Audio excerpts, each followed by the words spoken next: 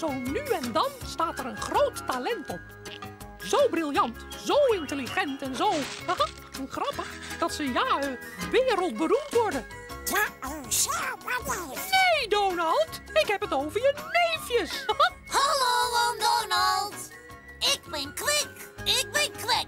Ik ben Kwak. Zijn ze niet schattig? Kijk toch eens naar die lieve koppies. Ongelooflijk dat ze ook zo ondeugend kunnen zijn. Meestal ten koste van Donald. Ja. Vanaf het moment dat ze voor het eerst verschenen in de film Donalds Neefjes... hebben Kwik, Kwek en Kwak voor onvergetelijke momenten in onze tekenfilms gezorgd. Dus ik vind dat het tijd is voor een eerbetoon aan deze schattige... Hij deed het. Hij deed het. Zij deden het. Hm, tja, deze schattige eendjes door enkele van hun leukste belevenissen te laten zien. Zoals toen je wou laten zien dat jij de grootste ijshockeykampioen was. Wat een vergissing. Mijn favoriete kwik, kwek en kwak filmpje is toevallig ook nog eens een van de grappigste tekenfilms die ooit gemaakt is. Auw, wat van de mij. Vergeet het maar, Donald. Je zit in al deze films. Ja, Donald. U bent onze inspiratie. Zo is dat. Want als er problemen zijn en jij bent in de buurt, Donald... dan zijn je neefjes goed in de aap gelogeerd. Ach ja, als beroemd psycholoog moet ik zeggen dat het niet altijd de fout van Kwik, Kwek en Kwak was dat ze in zoveel problemen kwamen. Oh, het was allemaal zo. Ja, jij met je slechte geweten. Want we zullen zien dat in deze prachtvolle film Donald zelf de problemen veroorzaakt.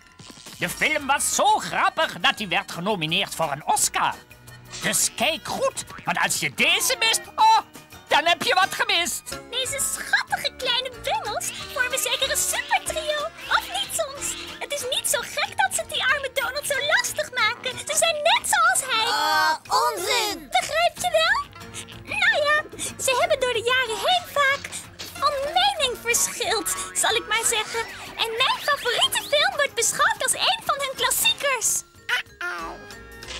Wat van je uit? Precies, jongens. Wat een rommel maken die drie er toch soms van. Ik ben blij dat ze met mij nooit zulke dingen hebben uitgehaald.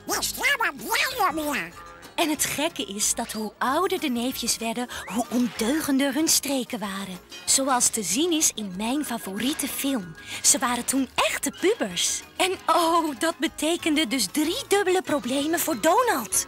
Want drie is ons geluksgetal. Drie is ons geluksgetal. Maar wacht eens even, kleine vriend. Jij was niet de enige die last had van die kleine apen. Eindelijk. Het was oneerlijk. Ik was op weg wereldkampioen boksen te worden... tot zij hun lelijke snavels ertussen staken en... gered door de bel. Het was de eerste en enige film die ik met ze maakte. Maar niet alleen daarom herinner ik het me zo goed. Dat is omdat het... Pijn deed. Jullie zorgden er altijd voor dat Donald voldoende beweging kreeg. Kijk toch eens. Hij moet in topvorm zijn om jullie bij te houden. Ja, u moet ons dankbaar zijn. Oom Donald. Dat zal ik zelfs oppakken. Zie je, ze houden hem eeuwig jong. Precies, oom Donald. Wij zijn uw bron van de eeuwige jeugd. Geen twijfel mogelijk. Dit was een geweldige show. De beste filmpjes van Kwik, Kwek en Kwak. En Donalds pijnlijkste. Wat was? Maar Donald, diep in je hart hou je toch veel van je kleine neefjes, nietwaar? Maar natuurlijk. Ha, dat is logisch, hè, Gopi? Oh, oh, ik heb ook altijd veel lol met ze. Ik denk iedereen wel, Goofy. Iedereen vindt ons leuk. Natuurlijk. Geef maar even. Kwik, kwek en kwak. In elke film een ondeugend idee. Altijd paniek in de tent, toch voelen zij zich miskend, want ze bedoelen het goed.